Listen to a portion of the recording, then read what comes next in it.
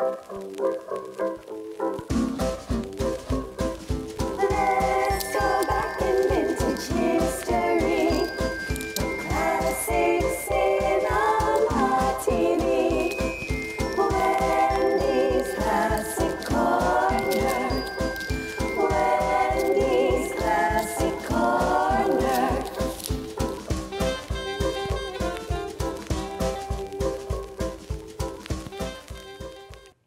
Howdy! Welcome to Wendy's Classic Corner. I'm Wendy, and today I want to talk about Westerns. I want to start out by mentioning that if you missed any of our shows, you can always catch all our episodes on my YouTube channel, Wendy's Classic Corner. You can also do a search for Wendy's Classic Corner on PCTV21.org under the Watch Live tab. If you are interested in appearing to be on the show to talk about classic film, please follow me on my Wendy's Classic Corner Facebook page. Now, let's turn our attention to a very popular genre of film, Westerns. In fact, Westerns are a genre of film that are still prevalent today. What is it about Westerns that stand the test of time? Westerns have a strong appeal to audiences. They are usually full of action and generally entertaining. They explore themes of individualism, violence, and the struggle for survival, which are universal and timeless. In fact, Westerns have been around almost as long as film itself. One of the first Westerns was The Great Train Robbery from 1903, which was a silent film. This film features bandits that rob a train and engage in gunfights, which is a common theme in Westerns. In fact, even before the advent of moving pictures, plays would feature cowboys and outlaws even in the late 1800s. So you can certainly say Westerns have stood the test of time. Of course, the portraying Native Americans as evil villains in the majority of early Westerns is rather problematic. There was some objection to this even in the 50s and 60s, with certain stars such as Marlon Brando complaining not only about the way Native Americans were being portrayed in film, but also the fact that Native Americans were played by white actors in makeup that made them look Native American. Regardless of these complaints, the Cowboys versus Indians theme was extremely popular and prevalent in classic Westerns. Today, I want to discuss two of my favorite Westerns, both of which are not your usual style of Westerns, but are still amazing films in the Western genre. I'll start with my favorite, 310 to Yuma. This film was remade again in 2007, but in my opinion, nothing beats the original.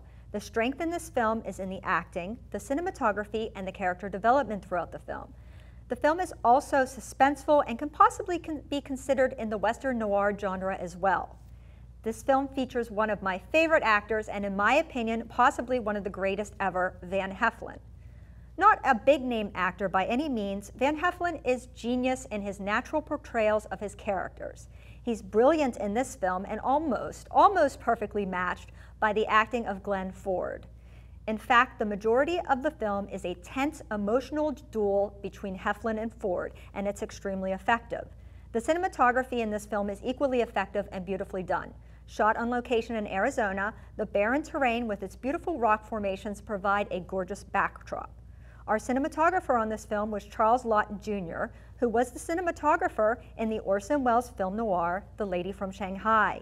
You can see some of the Orson Welles influences in this film, such as low camera angles in several of the shots in the hotel room with Heflin and Ford. The George Dunning score also works very well in keeping the tension throughout. There is a title song, The 310 to Yuma, which was written by Dunning and is sung at the beginning and the end of the film. This film was directed by Delmer Daves, who directed such films as Dark Passage and Price of the, Pride of the Marines. This film begins with Ben Wade, who's played by Glenn Ford's gang rab- robbing a stagecoach. This is unintentionally wish- witnessed by Dan Evans, who was played by Van Heflin, and his two sons, who are looking for their runaway cattle. The cattle are scattered all around the stagecoach scene. As the robbery is progressing, the stagecoach driver grabs one of the bandits from the gang and holds him at gunpoint in the hopes that the rest of the gang will go away. However, Ben merely shoots the guy that's held hostage and then shoots the driver with no apparent concern. Ben then takes Dan's horses so he and the boys can't go for the sheriff, and Ben and his gang race off to the nearest town. The boys are upset with their father for just standing by while these crimes are being committed, and when they return home, Dan's wife also seems to feel similarly. Meanwhile, Ben and the gang have come to a nearby town to have some drinks at a saloon. There's a pretty bartender, Emmy, who Ben ta takes a liking to. He reports the stagecoach robbery and killing to the marshal as if he was an innocent bystander in the matter. The marshal begins to round up a posse to try to track down the bandits. It's quickly discovered, though, that the bandits are actually Ben's gang. By this time, Ben has sent most of his gang off in different directions, and he remains in the town solely to enjoy Emmy's company. One of the stagecoach passengers, the owner of the stagecoach, has come to town to help apprehend Ben. Unfortunately, as the other posse members become aware of who they are dealing with, Ben Wade's gang, they drop out one by one. The marshal asks Dan, who has come to town to try to get a loan, to help them capture Ben. Dan is resistant, but he agrees to trap Ben, which he does successfully. Now it's up to the marshal to get Ben on the 310 train going to Yuma. Dan refuses to continue on, but when the stagecoach owner offers $200, he immediately volunteers. They devise a clever plan to throw the rest of the gang off the track by taking Ben in a stagecoach and pretending to have the stagecoach break down around Dan's house. While fixing the stagecoach, Ben is covertly taken from the stagecoach into Dan's house, and the repaired stagecoach goes off with the gang members following. Ben has dinner with Dan's wife and sons, and he is quite charming with them, learning that Dan is in trouble on his farm because of an unrelenting drought. Once it is deemed safe, Ben is transported back to the hotel to wait out its time to go to the train. Most of the remainder of the film takes place in the hotel room in a standoff between Ben and Dan. It's the best part of the film, with Ben playing all sorts of psychological games with Dan. This is where the character development begins to become obvious, with Dan going from someone who is only in it for the money to doing it because it is morally right, refusing double and more the amount to let Ben go. We also see Ben is not quite as cold and calculating as he appears in the beginning. He seems to genuinely like Dan and not want him to be hurt. The climax of the movie is a long scene with Dan walking Ben to the train, surrounded by all the gang trying to kill him. This is an amazing film. To me, probably the greatest Western out there. You can't really beat Van Heflin and Glenn Ford facing off in this film, and as I said, the film has a lot of noirish elements shadows, smoke, and angled camera shots. I highly recommend you give 310 to Yuma a try. And don't forget to check your local library. If the film isn't at your local library, just ask a librarian to order it for you from another library in the system. The next Western I want to discuss is a rather obscure film, The Sea of Grass, 1947. It's a little bewildering to me why this film is not more well known. The film stars Katharine Hepburn and Spencer Tracy, who would be paired together in a total of nine films, most romantic comedies. However, there is nothing comical about this particular film. It is directed by the master of angst, Elia Kazan, and reflects the usual social issues common to Elia Kazan films. In fact, this caused a lot of headaches between Kazan and producer Pandro Berman, who wanted a more typical Western. Kazan was further annoyed because he was not allowed to shoot on location and instead had to use stock footage of the Sea of Grass, which had been shot on the prairies of Nebraska. Kazan was so upset about the final product that he encouraged people not to see the film. I, on the other hand, do encourage you to see the film. The acting is impressive and interesting, and it's interesting to see Katharine Hepburn and Spencer Tracy in more serious roles. Katharine is a bit affected in this film for my taste, especially in the beginning. This film also features a great supporting cast with Melvyn Douglas, Harry Carey, and Robert Walker. The film gives you a good glimpse of the characters' personalities right from the start, with Lutie, played by Katharine Hepburn, in St. Louis preparing for her wedding to Jim Brewton, Spencer Tracy. While with her father, she receives a telegram from Jim telling her he cannot attend and for her to travel by train to South Fork, New Mexico. Lutie complies. However, the train arrives early in South Fork and no one is there to meet her. Lutie has made a friend on the train, a woman and a child that are from the area, but the woman's husband comes and takes her home. Lutie is used to city life of St. Louis and finds Salt Fork a bit of a shock. Nevertheless, she takes herself off to the closest hotel to get out of the sun and make inquiries. There she meets Bryce Chamberlain, played by Melvyn Douglas, and asks about Jim. Unfortunately, Bryce is not a fan of Jim's, nor are a good many folks in the town. Jim is a cattle baron with a huge amount of land and refuses to allow people to settle on the land to farm and make a living. In fact, he's involved in a lawsuit where some of the men, some of his men shot a homesteader who was squatting on his land. Much to Bryce's disgust, there is a clear good old boy system working here, and the men are set free. Jim takes Lutie home and introduces her to the household, who at first are a bit standoffish with her, but quickly become very fond of her. She also charms Jim's friends, especially Doc, played by Harry Carey. Jim shows her his sea of grass and explains why it's so important to preserve it. Basically, Jim believes that God has the grass there for the purpose of raising cattle and that farming will destroy the grass and the climate will destroy the crops planted and leave nothing. He's completely against homesteaders on his property, which he gained by fighting the Native Americans and also lost his brother to in the process. The shots of the grass are particularly, particularly impressive with the wind rippling through them, and they do indeed look like waves on an ocean. Lutie tries to understand Jim's attitude, but when her friend from the train, Selena, needs a place to live with her husband and child, Lutie convinces Jim to let them live on his land. He agrees, but warns her that it can't last. Otherwise, things are good on the ranch, with Lutie's giving birth to a daughter, Sarah Beth. Things go awry when a blizzard comes through and Jim is away with the cattle. Some of the cattle on the ranch cross the fence put up by Selena's husband. He rushes out to protect his land and crops from the cattle and winds up getting severely beaten by the cowboys. Selena drags him into the house and then loses her baby because of the exertion. Lutie is devastated by all this and goes to see them, only to be told they don't want to have anything to do with her and are leaving. Lutie shares her anguish with Jim, only to receive an I told you so type response, which infuriates her. It causes her to leave Jim for a period of time. She goes up to Denver, and there she runs into Bryce, who has been in the background the entire time as a very interested party. Frustrated and upset, she has an affair with Bryce, which she immediately regrets. Lutie returns to Jim, who is happy to have her back, but does not change his attitude at all. Lutie winds up giving birth to a baby boy, and in her delirium during labor, says certain things that led on to the household staff and that perhaps Jim is not the father of the child. Jim also has misgivings, although Doc convinces him that Lutie was just out of her mind. Bryce winds up getting the federal government behind him, and the homesteaders are allowed to make claims to live on Jim's land. Jim res Jim's response to this is to get a posse to shoot the homesteaders. Lutie tries desperately to stop him, but it finally comes out about the affair between Bryce and Lutie and that Brock, her son, is indeed Bryce's son. Jim tells her to leave and to leave both children and that he will raise Brock as his own son. She complies. Jim takes his posse to shoot the trespassers, but is met by an old friend who is leading an army regiment. Jim is told that the army is sent to keep the peace and that his men would suffer the loss of their lives if he persists. Jim doesn't want this and is resigned to accept the homesteaders.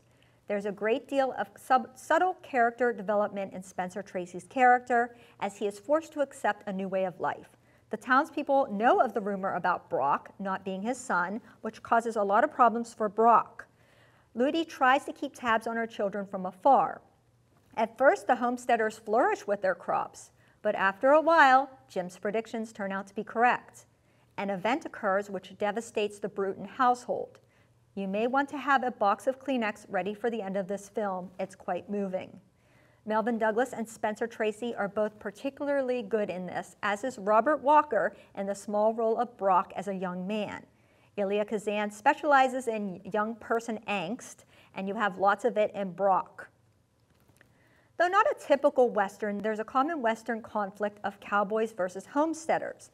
This is a theme with several Westerns. There's also a theme of preservation of nature, and it's heartbreaking to see the beautiful early scenes of the plateaus of grass as opposed to later scenes of barren wasteland. I hope you will see this film, The Sea of Grass. Hello? Sounds good, send them in. Well, folks, it's time to hear what our viewers have to say.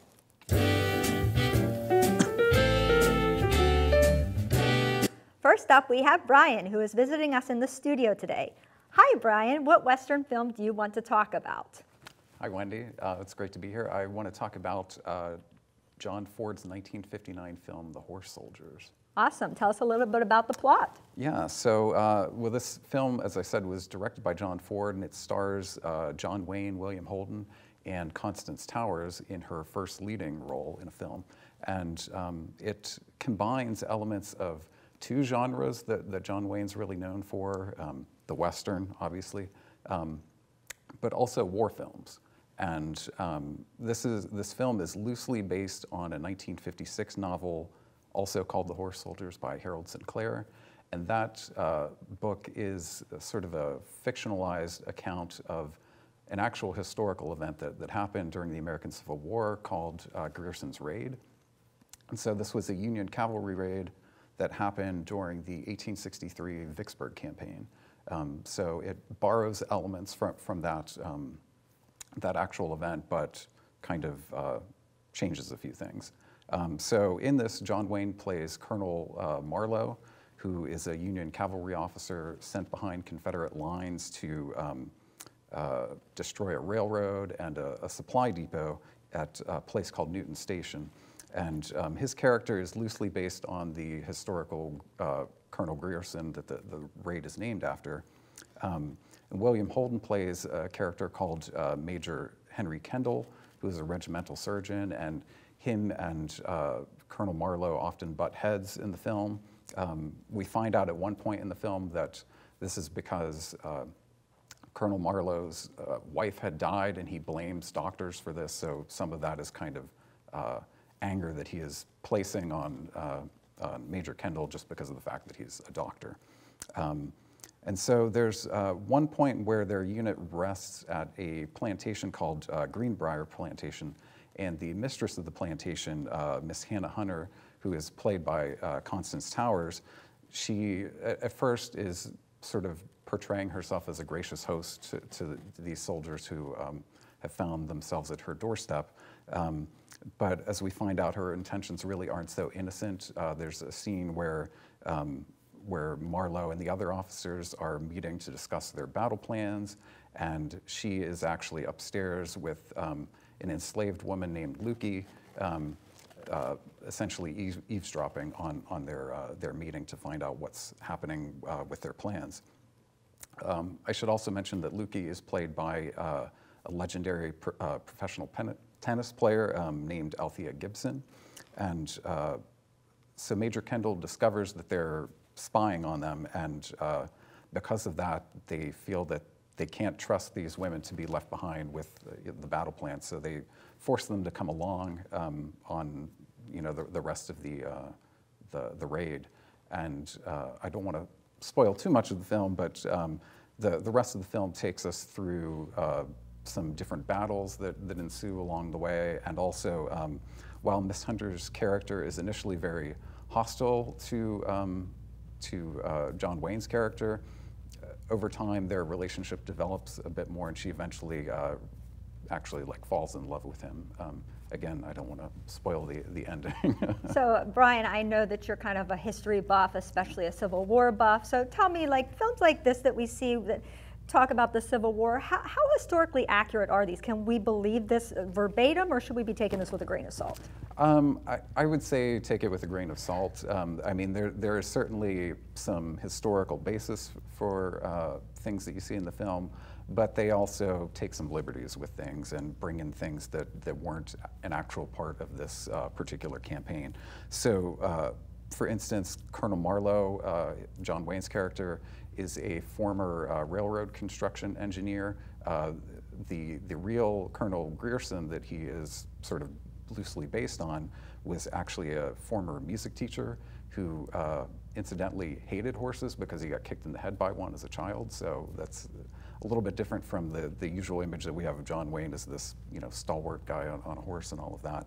Um, the other thing too, uh, while uh, William Holden's character is again loosely based on a real person, um, uh, Constance Towers' character is just a complete Made up, Yeah, made up fabricated. yeah, exactly. So this sounds a lot to me like this sounds almost more like a Civil War movie. How is would you, how do you consider this? How is this considered a western? Um, well, I, I guess first of all, I should mention that um, even though this isn't happening in the far west, you know, Arizona, Nevada, something like that, um, it, it's happening in you know Mississippi, uh, Louisiana. Um, that is actually considered the Western theater of the Civil War. So um, it's a little bit different from what we might tend to think of as the West, but but that was the West. Um, the other thing too is that um, as is common in many of John Wayne's uh, westerns, he, he plays this very stoic, masculine, strong kind of figure. Um, so it's uh, very similar to, to what you see him playing in, in his other films. And um, similar to westerns, uh, there's often this kind of absence of uh, the usual sort of social order, the, the kind of justice system that, that we tend to think of um, in sort of civilized society. Um, in a lot of westerns, that's usually uh, portrayed as uh, you know frontier justice or people taking justice into their own hands. With this film, um, it, it comes up as just sort of the, the lawlessness that happens in war and the, the lack of order that, that there is in wartime. Um, and also that a lot of westerns have uh, sort of the harshness of the frontier and things like that. And in this, it's the harshness of, of war and the, the hellishness that happens um, in, in wartime. Um, we also often see uh, in westerns kind of this cowboys versus the outlaws, this Right. sort of feud that happens. And there's really no bigger feud in American history than the American Civil War. North versus the South. Yeah, and um, so in, in this film, our sort of cowboys are, are the Union soldiers, and they just so happen to be Union cavalry. So it, it very much is this kind of, uh, Yeah. you know, uh, people on horseback. Um, and yeah, the outlaws in, the, in this case are Yeah, the, so the nice a parallel there. So you mentioned John Wayne. So I don't think you can talk about uh, westerns without talking about John Wayne. He's you know the prototypical western, um, classic western character. Uh, 142 westerns he was in, 14 of which he was in with, or at least 14 films he was in with John Ford. So tell me a little bit about John Ford, the John Ford John Wayne relationship. Yeah, so uh, one thing that's interesting to mention about John Ford is that he once said that the Civil War was actually his major interest in life, not, not making films. Um, but despite that fact, this was the only full scale film that he ever made about the Civil War. It, it was kind of tangential in some other films that he made, but this is the only one that is truly dedicated to uh, the, the topic of the Civil War. Um, and so John Ford had this kind of uh, mentor relationship with, with John Wayne, but during the making of this film, they actually didn't get along very well um, because uh, Ford was a longtime alcoholic and he had been ordered by his doctor prior to the making of this film to give up alcohol, you know, no more, no more drinking. And, um, and he did comply with this, but he was very angry about it and took out his anger on the cast and the crew. And John Wayne happened to get the worst of, of his treatment um, to the point that he actually demanded that John Wayne also be completely sober for the, the whole making of it, even though John Wayne was not under doctor's orders to do so. Um, and so uh, John Wayne sort of conspired with the, the producer of the film to like, you know, get me away from here, and uh, because Ford was really keeping keeping watch on him, and so um, uh, the producer and John Wayne William Holden actually went on this like secret drinking trip in New Orleans, and uh, and Ford had his spies and, and found out about it and was very angry at them whenever he found out about it, but. Um, Although Ford did, as I said, did remain sober during the production, he immediately fell off the wagon at, at the end of it because um, uh, stuntman Fred Kennedy, who was a, a, a friend of uh, John Ford's, actually um, died in, in filming one of the, the scenes. He fell off a horse and broke his neck. And um, at that point, uh, John Ford was just devastated and kind of gave up on the film. They stopped location shooting. Uh, they didn't even finish the, the, the last part of the story where they, they go on to, uh, to New Orleans, uh, or to Baton Rouge rather. Um, and again, I don't want to give, give away the ending, but they, they didn't like take the, the story the whole way to completion. That's terrible. Yeah. That's a, that's a shame. But you know, I think John Wayne was uh, sort of John Ford's whipping boy, even in the best of conditions, much less when he was trying to remain sober. But thank you, Brian. We appreciate your historical expertise. Next up, we have our friend and frequent guest, Kirk. Hi, Kirk. What Western do you want to talk about? Hi, Wendy. Uh, thanks for having me back again. Yes. Feel a little dressed. I don't. have the- Absolutely. I'm not. I'm not in uh, costume, and I don't That's have. okay, I'm not off theme. here. I'm ready for uh, like beach blanket movies or Yeah, something not like that. well. we- Maybe that will be our next next show. Maybe, yeah. Um, no, I movie I want to talk about today was uh, the Oxbow incident Yeah. from 1943, directed by uh, William A. Wellman, who is best known as director of Wings, I think, the first uh, Best Picture winner. Uh, and this is a movie. It's a um, it's about a small town where uh, it stars uh, Henry Fonda. Uh, he's coming back into town uh, after he's been away for a while, and he's already on edge. Uh, his his uh, his sweetheart has kind of left him, abandoned him, and he's kind of coming. He's got a chip on his shoulder. And as he's coming in, what also happens is it's found out that one of the uh, one of the uh, frontiersmen living near the town that all these people know has been murdered. And so um, it, now it's a matter of, you know, what do we do? We got to go find the people who killed them. And it's kind of a perfect storm, the situation of the wrong people to handle this and to deal with this. Uh, you have, you know, you have a, a deputy, the sheriff's out of town. Sheriff's out of town. You have a deputy who is mostly concerned about proving his authority and that he's uh, it's okay for him to do this. Uh, you have a close friend of the, of the victim who just wants to, who's, who's seen red, wants revenge. Uh, you have a, uh, a former uh, Confederate major who is uh, who is just real. You know, he's a real war hawk. He wants to, he wants to get these guys. And he he has a son who is, he sees as kind of weak. You know, not you know kind of a sissy and uh, he wants to kind of make a man out of him, use a situation for that. So you have all these people who are in it for the wrong reasons, and they're going out to hunt down these uh, presumed killers. Uh, so they go out and uh, they're on the road, and they eventually come across a group of people who there's a lot of circumstantial evidence that yeah they may be the killers, but there's also a lot of reason to believe they not, might not be. So uh, Henry Fonda does what he does best. He argues against the mob to do the right thing, and uh, it's a it's a very interesting movie about um, just what is uh, you know what is justice. And the reason I love it is because it's a revisionist western in a time period where revisionist westerns really weren't a thing yet. What what is? Tell us what you mean by revisionist Western. Yeah, revisionist western is basically uh, I don't want to say it questions the genre itself, but it asks questions of the genre. You know, it kind of subverts the tropes, it subverts the, the themes. Um, it's, it goes against the idea of you know good versus evil, white hats versus black hats. The line's a little more blurred. It's a little more you know deals a lot more the gray areas and a lot more realistic. And I mean that's past 20, 30, 40 years. That's really all that gets made. You really couldn't make a, a traditional western these days.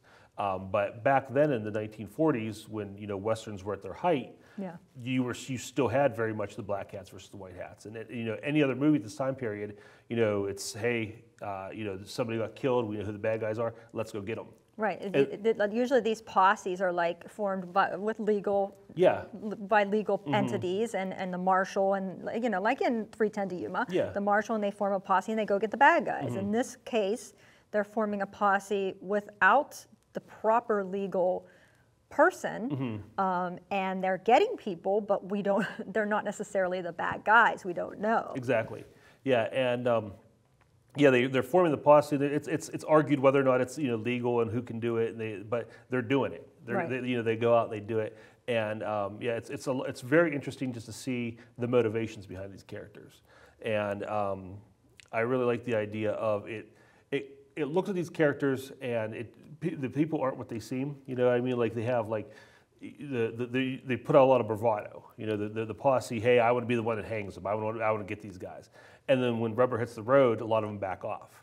Yeah, you really see like the char- all almost all the characters, individual personalities coming out here Mm-hmm. and there. Like I mean, you're kind of swept up in this mob mentality. Like Mm-hmm. this is definitely like a mob mentality. It's it's like almost you can see them. They should be running around with pitchforks and like Mm-hmm. um, torches. You know, they're they're they're determined to go do this. They're so angry.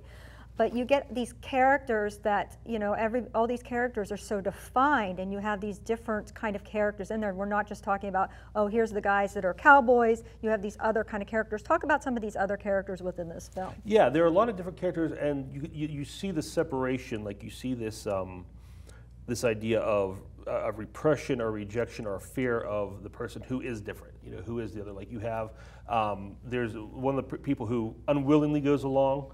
Uh, is is the town preacher who's African American, and there's he's kind of kept at arm's length from the rest of the group.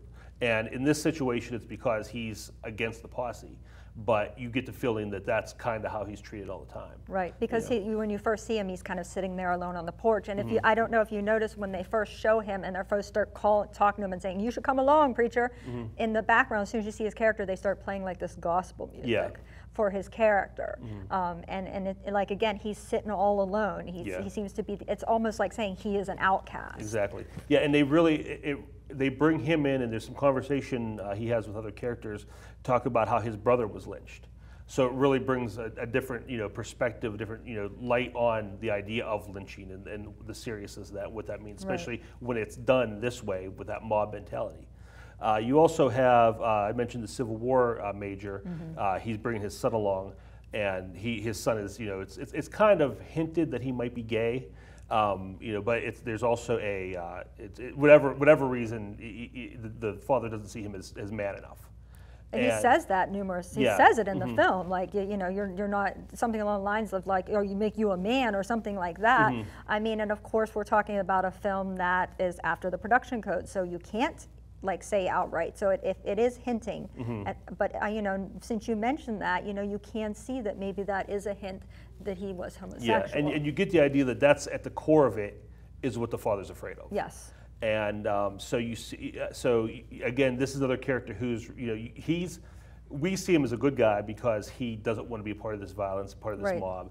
Um, but they look down on him because of, you know, because again, he's he's separate from them. Yeah, and he's also, uh, you know, he doesn't behave manly like the rest of the people. Sure. He's like afraid of, you know, blood. He he doesn't want to do any violence. Mm-hmm. Um, and it's just, you know, the father, Yeah. the father has to be the most despicable Oh, yeah. character in the whole film. Just awful. Yeah, yeah, he's uh, he, he's the one. He's really the driving force. There- There's a few moments in the movie where you see that the, the crowd might be ready, ready to back off, and he's always the guy driving the issue. He's the one saying, "No, no, no, we got to do this. We got to get this done."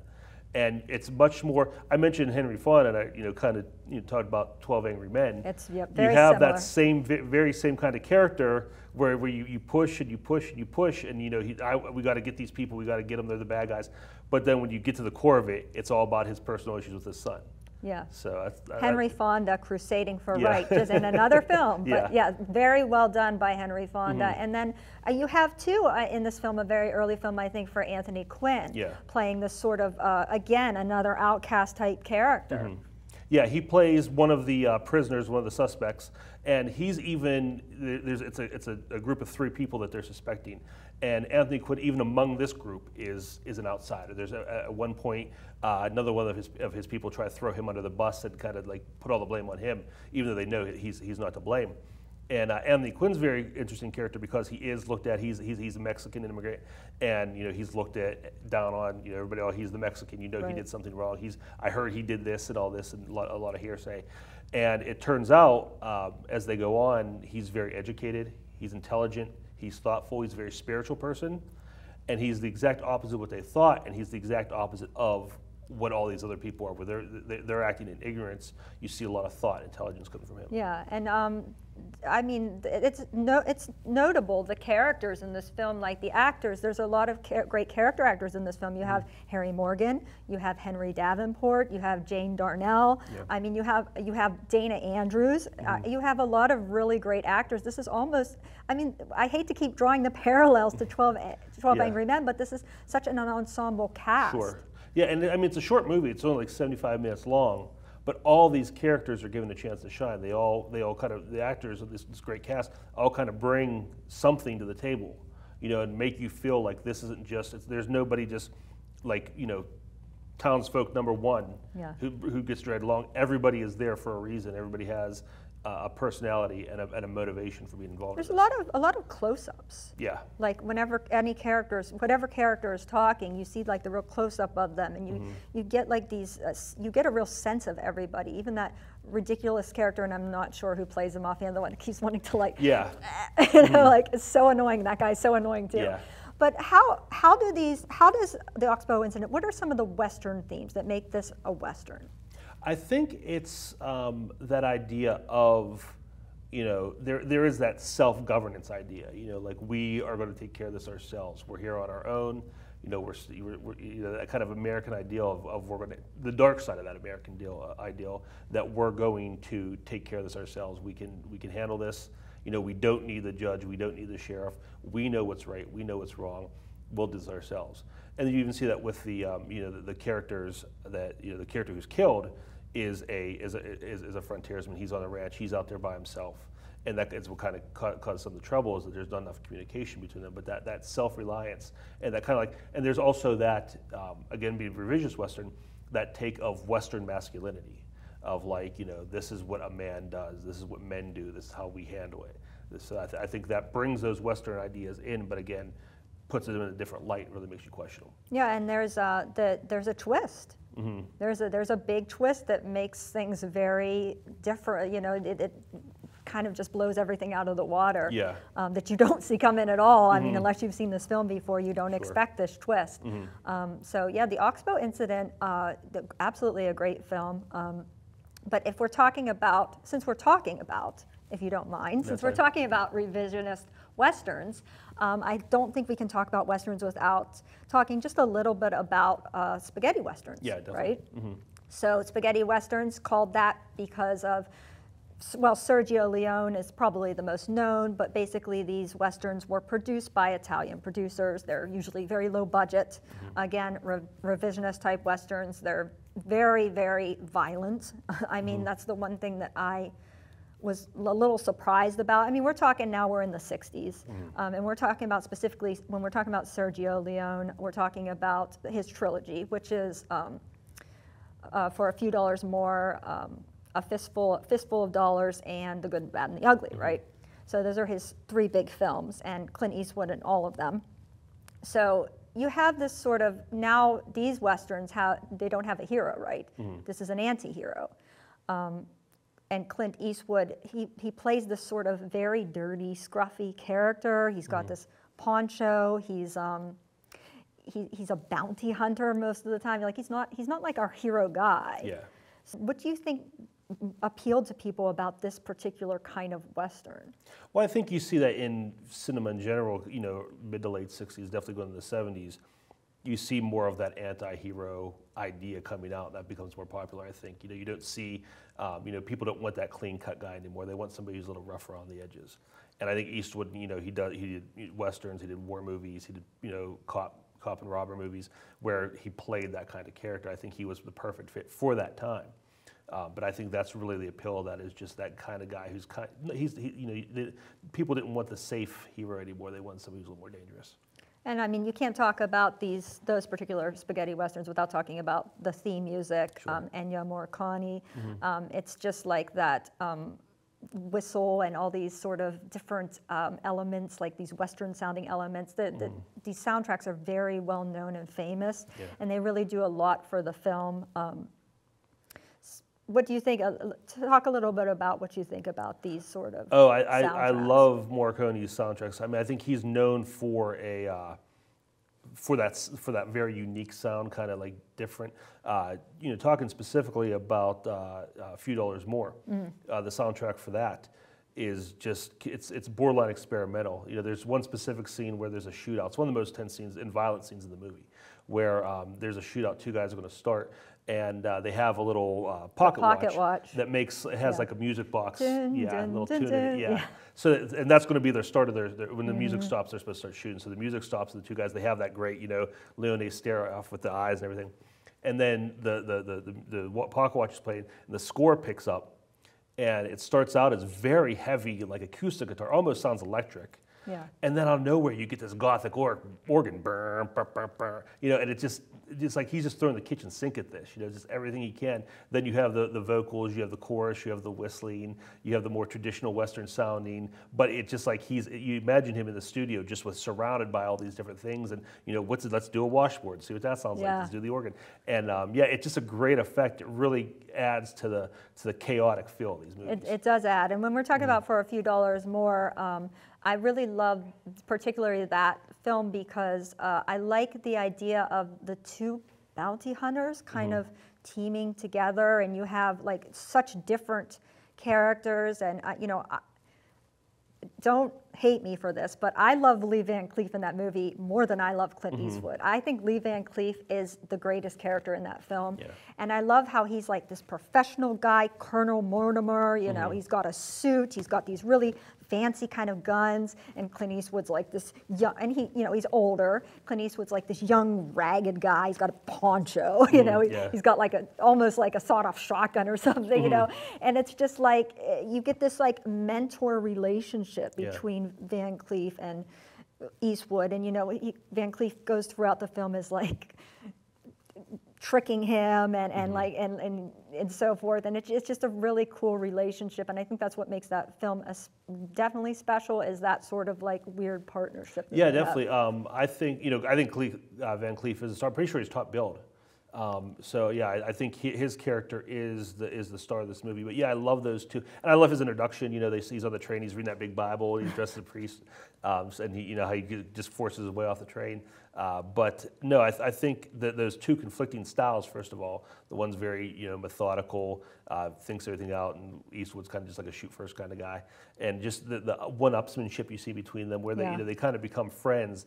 Uh, but they have that professional relationship where they're, they're, they're still looking out for themselves. and they don't they definitely don't trust each other Yeah, like yeah. that scene where clint eastwood keeps shooting his Yeah, yeah, yeah. That's a great scene where knocking his yeah, hat away. Talk about that for a minute, where they where they first meet, and they just kind of like because they've kind of been uh, circling the same people because they're Yes. both they're bounty killers, not bounty hunters. They're never Yeah. called they're killers, uh, and uh, they're, so they've kind of been circling the same criminals that they've been hunting, and they they know each other's there, but they haven't met yet. So they meet and they just face off. And I think Eastwood's the first one to do it. He just kind of like steps on his boot, like scuffs his Yes, boot, and then he, he does, does. it back, and they back off, and um, Van Cleef takes his hat off, and just real petty move. Eastwood just keeps shooting it away from him. And then uh, to one up him, uh, you know, Van Cleef shoots the hat off his head and just keeps shooting up in the air. So it's a great. I saw, I saw someone called it a meet cute on, online, um, but it's a great way just the introduction of, of this relationship, and it's a great. Uh, it's it's the way the relationship plays out where the two of them are um, always at odds, uh, but finding that common ground to to get what they want. And you have a villain in this, um, played Ramon is the character's name. This, the an Italian actor, actually, Mm-hmm. from what I understand, spoke no English at all. Had to learn all his lines in English phonetically. Um, just plays this just such despicable guy. Like this guy has like you, you don't get a redeeming quality from Mm-hmm. this guy. And it's really interesting because you're going on the film, you're seeing these things happening, but little by little you're getting these little flashbacks to something that's happened in the past. And when you see these flashbacks, you're starting to understand more why what has happened, why the characters are behaving, how they're behaving. So in a way, you know, in a way, there's a noirish element to this too, like with the flashbacks and, Sure. and you know, the way why the characters are behaving, the way they're behaving, and you find out you you think one thing again. You're again thinking one thing. The characters are behaving this way because of this. Mm-hmm. They're bounty hunters. But then you find out that one of them isn't. That isn't the real reason. Yeah.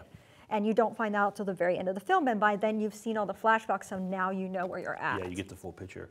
Um, yeah, the villain, uh, his name was. Do you remember his name? The, the character name? I don't remember. The, his character name. character name is Ramon. Ramon. Okay, yeah. He um, he was so good. Like he has like that. He looks very Italian. He has that great look. Yes. He's got that big bushy. He beard. doesn't look Mexican. No, he doesn't. No. Well, He no, plays a Mexican you- character. You know, I'll say that about these spaghetti westerns. One thing I, I love about them is that it's so there's like this otherworldly feel to them. Yeah. Because you know the, you, you're supposed to be in America, but you can tell you're not in America. Yes. They're supposed to be Americans and Mexicans, but you can tell they're not Americans and Mexicans. Yes. And it just has this really, it just it makes this really great like only in the movies kind of feel to it. Um, but yeah, perfect example with him. He's got that beard, those piercing eyes. Um, eyes. He's very, you know, very charismatic, um, but he's just bloodthirsty and Yeah. evil and Evil. just, just merciless to you. Some of the stuff you see him do in this movie, like he just does not care. And uh, he's that perfect kind of villain that you want to see. And you need when you have you know heroes who are kind of on the edge, the anti-heroes. You need a bad guy Yeah. that you can root against 100. percent And that's Exactly. that's you know that's definitely what he is. Yeah. So anyhow, like I, I would highly recommend people like Mm-hmm. checking out these Italian westerns, these spaghetti westerns, um, and all westerns. Kirk, it's always a pleasure to chat with you about classic film. And it's all the time we have for today. I really enjoyed talking about Westerns with you and hope that our viewers have enjoyed the show. And remember, if you want to be a guest on the show, you simply have to follow Wendy's Classic Corner on Facebook or email me at wendysclassiccorner at gmail.com. Until next time, this is Wendy from Wendy's Classic Corner saying so long, and here's looking at you, kid.